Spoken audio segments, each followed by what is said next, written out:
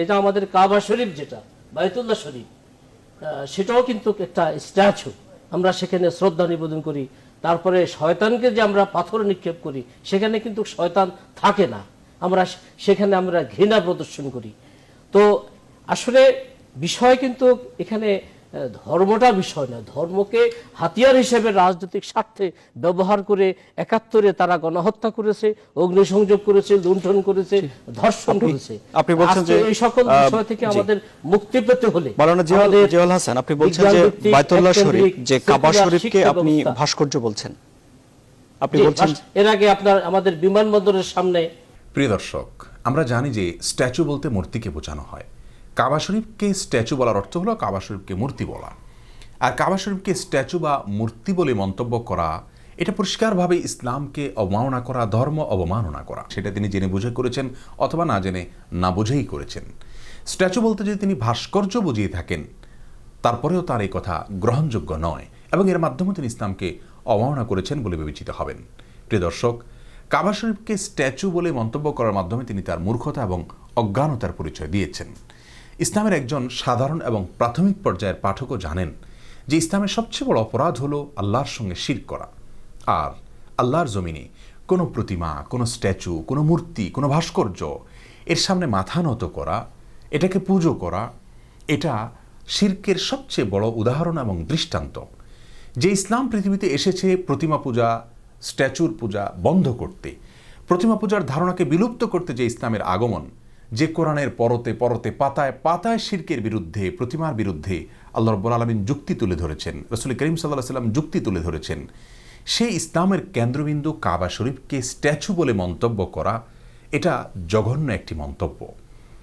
এর মাধ্যমে তিনি ইসলাম এবং মুসলমান উভয়কে অপমান করেছেন, অসম্মান করেছেন। এ উক্তির মাধ্যমে প্রতিমা পূজার সাথে কেমন যেন মুসলমানদের ইবাদতকে একটি সাদৃশ্য দেখানোর অপচেষ্টা হয়েছে।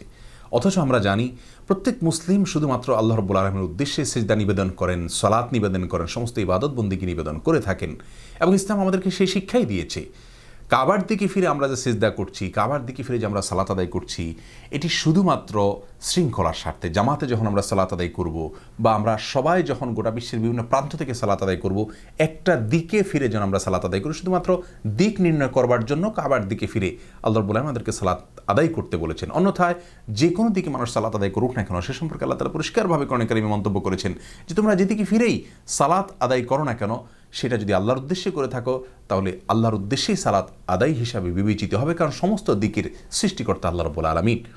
সেখানে শুধুমাত্র কাবাকে আমাদের জন্য কেবলা হিসেবে নির্ধারণ করা হয়েছে, তার দিকে মুখ করে আমরা আল্লাহর উদ্দেশ্যে সিদ্ধা এবং ইবাদত নিবেদন করে থাকি। আল্লাহ তালা বলেছেন, ফওয়াল্লি ওয়াজ হাকা সাতার আল মসজিদুল হারাম হে রসুল, আপনি আপনার মুখাবয়বকে শুধুমাত্র চেহারাকে কাবার দিকে ফিরান, অর্থাৎ কাবার দিকে মুখ করে শুধুমাত্র ইবাদত করছি আমরা, কিন্তু ইবাদত হচ্ছে আল্লাহ রব্বুল আলমিনকে।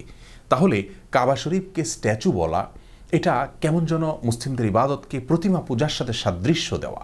এটা কোনো অবস্থাতেই গ্রহণযোগ্য হতে পারে না। তিনি হাজর আসাদ পাথরের কথাও টেনেছেন যে, মুসলিমরা আমরা হাজর আসাদ পাথরকে চুম্বন করে থাকি, এটা এক প্রকারের স্ট্যাচু নাকি? অথচ পাথর, এটা কখনো স্ট্যাচু হতে পারে না। স্ট্যাচু যদি হয়ে থাকে, তাহলে এটা কার্ট স্ট্যাচু। কিসের আকৃতি, কিসের মূর্তি? অথচ আমরা জানি এটা একটা পূর্ণাঙ্গ পাথর।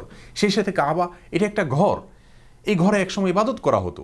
স্থান সংকলন হয় না দেখে আমরা বাহির ইবাদত করছি। তাহলে এটি একটি ঘর। এই ঘরটার সাথে তিনি যে এটাকে স্ট্যাচু বলে মন্তব্য করলেন, এটা কার মূর্তি? কার স্ট্যাচু? কার ভাস্কর্য? কিসের ভাস্কর্য? অতএব কাবাকে, হাজর আসাদ পাথরকে স্ট্যাচু বলা, একই সঙ্গে মূর্খতা এবং ইসলাম অবমাননা করা। সেই সাথে আমরা বলতে চাই, হাজর আসাদ পাথরকে যে আমরা চুম্বন করে থাকি, এটা এই জন্য যেই নয় যে এই পাথরকে চুম্বন করে আমরা কোনো কল্যাণ তার কাছ থেকে আশা করি। সহি মুসলিমে বর্ণিত হাদিসে খলিফাতুল মুসলিমিন ওমর ফারুক রদি আল্লাহ তালাহু অত্যন্ত বলিষ্ঠভাবে বলেছিলেন হাজরসাদ পাথরকে সম্বোধন করে, হে পাথর, আমি জানি তুমি নিছক একটি পাথর। কোনো কল্যাণ অকল্যাণের ক্ষমতা তোমার নাই, এ বিশ্বাস আমার আছে। যদি মোহাম্মদ রসুল্লাহ সাল্লাহ সাল্লামকে আমি না দেখতাম তোমাকে চুম্বন করতে, তাহলে আমি কুশিন কালেও তোমাকে চুম্বন করতাম না। ইমাম তাবারি রহমাহুল্লাহ বলেছেন যে, ওমর ফারুক রাদি আল্লাহ তালা আনহু এই উক্তির মাধ্যমে মূলত কিছু মানুষের সন্দেহ, সংশয়কে দূর করতে চেয়েছেন। যেহেতু মুসলিমরা সদ্যই প্রতিমা পূজার যুগ পার করে এসেছেন, কারণ মনে হতে পারে যে কাবার চতুর্পাশে তোয়াফ করা, কাবার দিকে ফিরে সিজদা করা এবং হাজর আসাদ পাথরকে চুম্বন করা, এগুলো প্রতিমা পূজারই নতুন কোনো ভার্সন কিনা, সেই সন্দেহ দূর করবার জন্য ওমর রদুল্লাহ তালাহু হাজর আসাদ পাথরকে সম্বোধন করে কথাগুলো বলেছেন। এখান থেকে পরিষ্কারভাবে বোঝা যায় যে এটাকে কোনোভাবেই প্রতিমা পূজার যে দৃশ্য আমরা দেখতে পাই, তার সঙ্গে মেলানো অথবা সাদৃশ্য দেখানো, এটা কোনো অবস্থাতেই গ্রহণযোগ্য না, বরং এটি চরম স্পর্ধা। একজন মুসলিম এ উক্তি কোনো অবস্থাতেই করতে পারেন না, চরম মূর্খ না হলে অথবা ইসলাম বিদ্বেষী না হলে। সাথে তিনি জামরাতের কথাও টেনেছেন। জামরাতে আমরা যে পাথর মেরে থাকি, সেটাও নাকি স্ট্যাচু। অথচ সেখানে কার স্ট্যাচু, কার আকৃতি? এখানে কোনো আকার আকৃতি কারোরই নেই, কোনো কিছুই নেই, একটা পিলার শুধুমাত্র।